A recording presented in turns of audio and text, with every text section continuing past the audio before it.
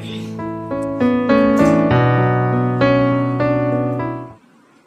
friends welcome back to my channel और आज हम लोग विंटर के बहुत खूबसूरत फ्लावर की बात करेंगे। इसका नाम है हॉली हॉक फ्रेंड्स तो हॉली हॉक जो है ये लब, बहुत लंबा प्लांट होता है तो जब ये कम से कम पाँच फीट दो इंच तक इसकी हाइट चली जाती है आराम से। तो इस प्लांट को किस तरह से हम ग्रो कर सकते हैं और इसके लिए किस तरह की मिट्टी चाहिए होती है तो आज हम इसी के बारे में बात करेंगे। तो चलिए फ्रेंड्स शुरू करते हैं हम।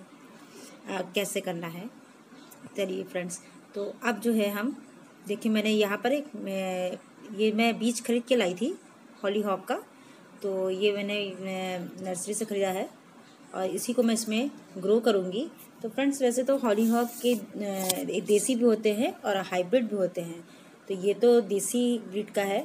हमारा तो मैं इसी को ग्रो करूँगी और इसी को इसमें मैं लगाऊँगी। तो मैंने जो है मिट्टी तैयार करी है फ्रेंड्स तो इसके लिए गोबर की खाद चाहिए, एक भाग गोबर की खाद का, एक भाग रेतीली मिट्टी ले लीजिए और एक भाग आपकी गार्डन की मिट्टी जो होती है वो इनको अच्छे से मिक्स कर लीजिए और मिक्स करके इनको आप इसमें, आप जिस भी पॉट में आपको लगाना है उसमें आप ग्रो कर लीजिए। तो मैंने उसमें मिट्टी तैयार कर ली और ये देखिए अब मैंने बीज निकाल दिए हैं तो ये बीज आपने देखा इन्हीं बीजों को मैं इसमें ग्रो करूँगी।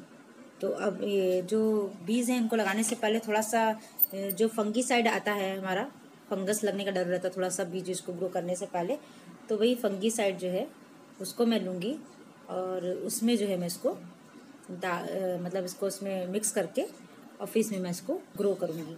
तो चलिए फ्रेंड्स मैं करते हैं, फिर हम आपको दिखाते हैं कैसे कर रहे हैं। ये देखिए, ये फंगी साइड है, इसको मैंने ले लिया है। और इसी में मैंने ये बीज जो है इसमें डाल दिए हैं और इसमें मिक्स कर लेंगे अच्छे से, ताकि फंगस ना लगे, क्योंकि फंगस का डर रहता है तो वो रहे, ना रहे। इसलिए जो है थोड़ा सा हम लोग इस चीज़ का ध्यान रखेंगे और इसको जो है इसमें हम अच्छे से मिक्स करके, अब इसके बाद मैं इसको उसमें धीरे धीरे लगा दूँगी फ्रेंड्स तो देखिए एक एक जैसे अपना कुछ कुछ दूरी पर आप लगा दीजिए तो उसको मैं ऐसे यहाँ पर लगा दूँगी। तो ये धीरे धीरे करके इसे लग जाएगा। उसका लगा रही थी, लेकिन मुझे फिर ध्यान आया कि मैंने पानी नहीं डाली फ्रेंड्स मैं, भूल गई थी तो इसलिए मैंने पहले इसमें पानी डाल दे रही हूँ। थोड़ा पानी पड़ जाए, उसको फिर मैं अच्छे से सेट कर लेंगे थोड़ा सा, क्योंकि मिट्टी इसकी सही से सेट हो जाए। पानी डाला ना, थोड़ा सा मिट्टी इसकी सेट हो जाए तो वो उसके लिए मिट्टी सेट कर लेंगे। अब उसके बाद जो है मैं, अब इसमें मैं इसको धीरे धीरे एक एक करके कुछ कुछ दूरियों पर इसको लगा दूँगी। ये देखिए फ्रेंड्स, ऐसे धीरे धीरे करते तो ऐसे ही एक जितने भी जितने भी आपके पास बीज है, आपको देख लीजिए, उस हिसाब से आप उसको उसमें लगा लीजिए। तो मैं इसमें लगा रही हूँ। ये देखिए, मैंने लगा लिया फ्रेंड्स। अब जो मैंने जो मिट्टी इसकी मतलब इसमें पॉट में जो मिट्टी तैयार करी थी, वो मिट्टी मेरी थोड़ी सी बचा के रखी है। तो उसी मिट्टी को मैं इसके ऊपर कवर कर दूँगी, जिससे ये अच्छे से कवर हो जाए।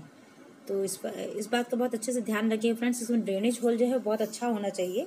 और ड्रेनेज होल अच्छा होगा तो इसकी जो है, पानी इसमें रुकेगा नहीं वो निकल जाएगा। और वो बहुत ज़रूरी है, वरना बीज जो है ख़राब होने का डर रहता है। तो इस बात का थोड़ा ध्यान रखिएगा। तो बस फ्रेंड्स, जो है, हम इसको अच्छे से कवर कर ले रहे हैं।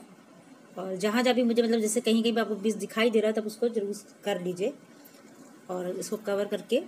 और इसका भी भी है कि आप जो है, अगर बहुत नमी में जैसे लगा रहे हैं, जैसे नौ, दिसंबर का मंथ है या नवंबर का लास्ट मंथ नवंबर का लास्ट चल रहा है आपका लास्ट वीक चल रहा है तो उसमें थोड़ा सा नमी हो जाती है। मौस, आपके इसमें मौसम में तो थोड़ा सा उसका से ध्यान रखिए तो उस समय पे थोड़ा केयर करनी पड़ती है तो आप इनको पहले पानी छिड़क दीजिएगा इसमें अच्छे से, मिट्टी डालने के बाद उसमें पानी छिड़क लेंगे। उसके बाद फ्रेंड्स, इसको पेपर से ढक दीजिएगा, पूरा पेपर से कवर कर दीजिएगा और तीन से पाँच दिन का समय लीजिएगा, उसके बाद इसको जो है खोल के देखें तो उसमें ग्रोथ होने लगेगी। अगर ऐसा लगे कि आपका टेम्परेचर डाउन हो गया है, क्योंकि ठंड शुरू हो जाती है तो उसमें थोड़ा लेट हो जाता है मैं बीज डालने के लिए तो रहता है। तो अभी तो खैर मैं इसलिए ये प्रोसेस आप अपना सकते हैं, जिससे इसमें ग्रोथ आसानी से हो जाएगी। तो बस इस तरह से इसकी केयर करिएगा फ्रेंड्स और इसकी ग्रोथ अच्छी होगी, और ये बहुत सुंदर प्लांट होता है, बहुत खूबसूरत फूल देंगे, और ये आपके गार्डन में बहुत अच्छा लगेगा। तो चलिए फ्रेंड्स हम मिलेंगे अपने नेक्स्ट वीडियो में। अपना ख्याल रखिएगा और मेरे वीडियो को लाइक करिएगा, मेरे चैनल को सब्सक्राइब करिएगा और शेयर ज़रूर करिएगा। Okay friends.